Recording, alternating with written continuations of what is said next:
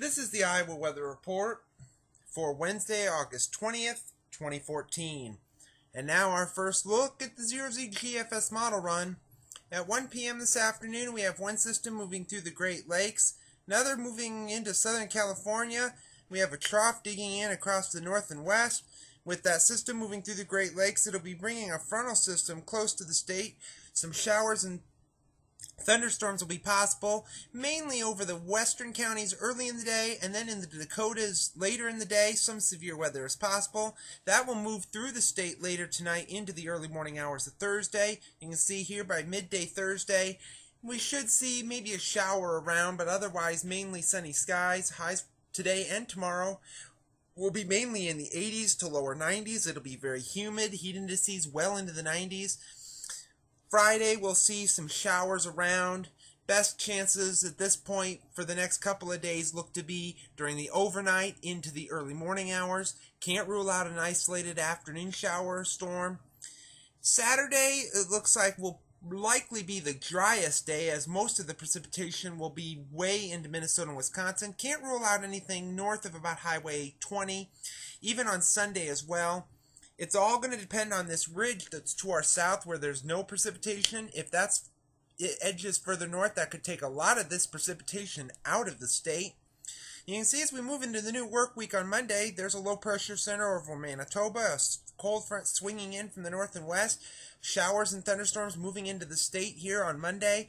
But then as we move ahead to Tuesday, that front stalls as that low begins to move up to the northern or northwestern part of Quebec and Hudson Bay. that front kind of stalls out over the state.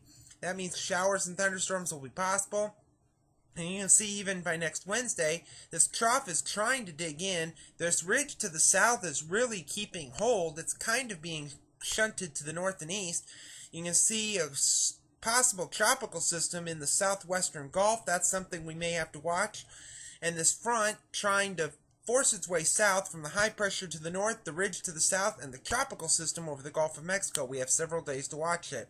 Speaking of that tropical system, as we go into the extended period, you can see it moves ashore in southeast Texas or southwest Louisiana, according to the GFS. Big ridge over the south and west. Main storm track well to our north. You can see that tropical system around Houston, Galveston. You can see showers and thunderstorms all over the southeast coast, high pressure over the Great Lakes, and with the storm track well to the north, that means temperatures will likely be in the 80s or so. And going into the end of the forecast, September the 4th, you can see pretty much a wavy pattern across the northern tier of the country, ridge over the southern part of the country around Louisiana or so. Any showers and thunderstorms will be very widely spaced. Best chances look to be over the southeast and across the northern Rockies, with temperatures likely starting to edge up as we go into the beginning of September. But the satellite image from last evening is showing a little bit of an edge of some thunderstorms across the plains, some over the eastern Great Lakes into the Ohio Valley, across the south, and the monsoonal flow continuing, continuing over the southwest. The watch warning map shows the flash flood watch over southeastern Arizona, around Tucson or east of there into New Mexico, heat advisories over far south Texas, an excessive heat warning around St. Louis, but fairly quiet elsewhere. The QPF chart doesn't show it's going to be very quiet in all places. This is rainfall through Sunday evening at 7 o'clock, showing rainfall amounts could be between 1 and 3 inches across the Dakotas into Minnesota. This may move into Iowa. We'll have to see. We could see some amounts around that as well.